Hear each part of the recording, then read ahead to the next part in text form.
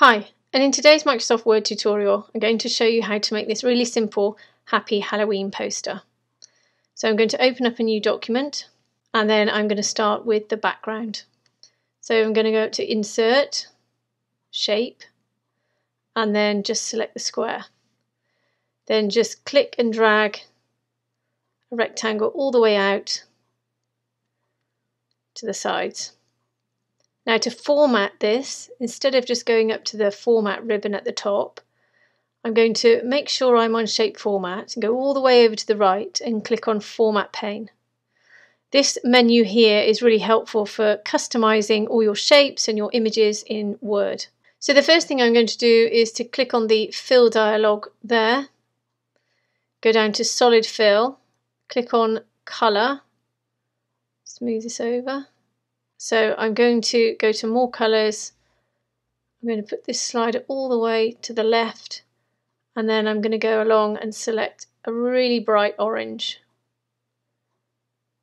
About there, just see the cursor there and then just click OK. Once I've got that in, I'm going to then insert a circle, so back up to Insert, Shapes, and go to the circle and then I'm going to hit my shift key so that when I click and drag it makes a perfect circle. If you don't it will make an oval.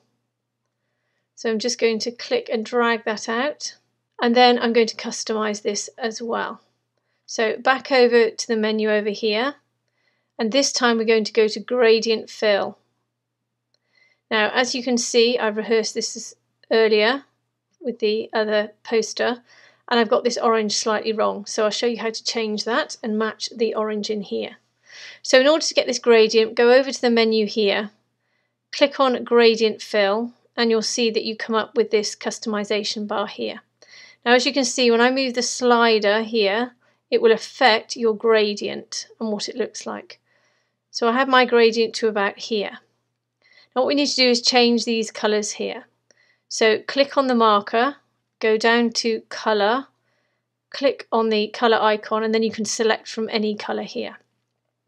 If you don't see the color of your choice, click on more colors, and then you can once again use the color wheel.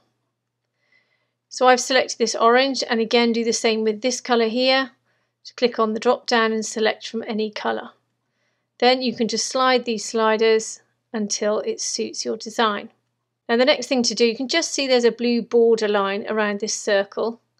And in order to get rid of that, I'm going to go down to line here and click on the drop down. And then I'm going to select no line. Then I'm just going to click on the background rectangle that we made. I'm going to go back to colour and I need to match that colour to the gradient. So click on more colours and then once you're on the colour wheel, which is this first icon here, I'm going to select the eyedropper tool and then I'm just going to click on the very edge of this circle. As you can see, when I move this circle around, it will magnify whatever colour is underneath it. So I'm just going to take this circle to the very edge of that circle and click, and it'll bring up this orange here, and then click OK. Now you can see the effect that we're going for. So now to insert some graphics. So let's insert the words first. So I'm going to go and insert a text box. So click Insert, Text Box, Draw Text Box, and then I'm just going to click and drag. Doesn't matter where. And then I'm going to type in happy. And then I'm going to select the word, go up to the Home tab. I'm going to change the font to this Carnival, but you can select any font you like, get one that's appropriate for Halloween. And then I'm simply going to press my increase font size tab here, or my icon here. I'm just going to increase that to about there, I think. And then I'm going to get rid of this white background. you just click away, you can see there's a white background and a black border to this text box. So I'm just going to get rid of that. So select it and then you can go over to no fill and then you can go down to no line and that's in the bucket icon up here. once we've formatted this text, then all we need to do is copy and paste this text box because all the formatting's now been done. The background's been taken off, the outline's been taken away, and we formatted the text as well. So I'm just going to hit Command or Control C, Command or Control V, and then just click and drag. I'm just going to make this text box a little wider so that we can get the word Halloween in. Double click inside the text box, type Halloween, and then hover the cursor over the edge of the text box and you can see it changes to a cross and then we can move this text anywhere we like. Perfect. Now to get some more graphics and this time we can use some of the graphics from Word but there's another website I'm going to take you to which is really good for all kinds of design resources. So let's just hop onto the internet and I've gone to a site called pixabay.com. You can see that up here. And in the search engine here, I'm just going to type bats. And in the image, I'm going to go down to vector graphics. And here you can see we've got a huge range of free images that can be used for your poster. You don't have to use the one I'm selecting, but you can use any of these. So I'm going to select this hour here and then just click free download. I'm going to select vector graphic and select download. And then if we just come away, go to insert, pictures, picture from file, and then in my downloads I've got that file here and then just click insert. Now, often the image will be inserted to the very back. It's almost like layers in Word. So it'll be inserted behind this uh, rectangle that we inserted earlier. So before you click away from it, go up to Graphics Format, go to Wrap Text, and then select In Front of Text. Now, if you accidentally click off it and you can't see it anymore because it's behind this background, then just move the background then select your graphic, bring it to the front, and then just move this rectangle back up. So again, I'm going to copy and paste this bat a few times by pressing Command or Control C, Command or Control V. And then we can just rotate them, reduce the size of them.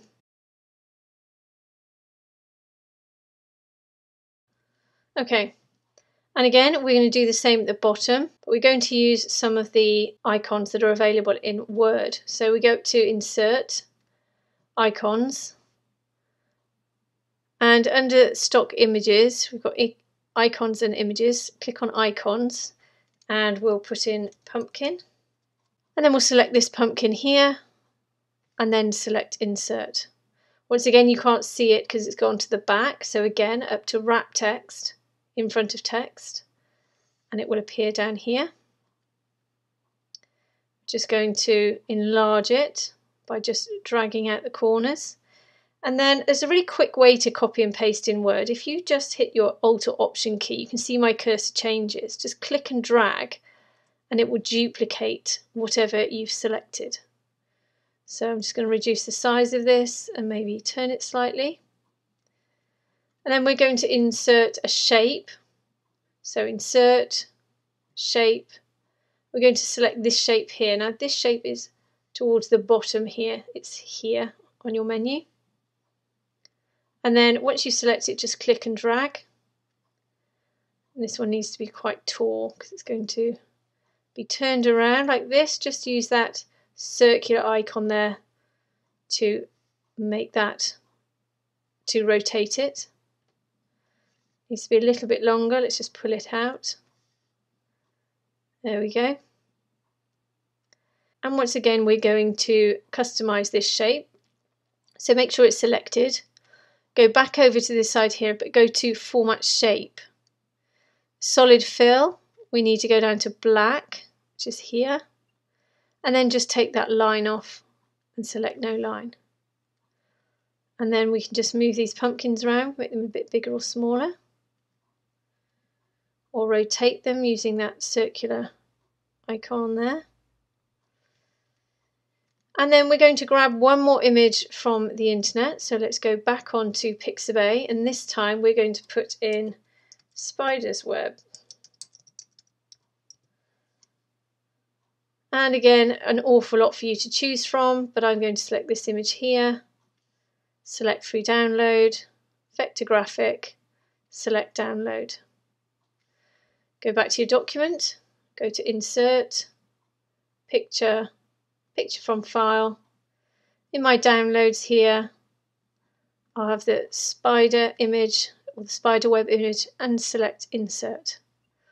Once again, it's at the back. So again, make sure you're on graphics format. Go to wrap text and select in front of text.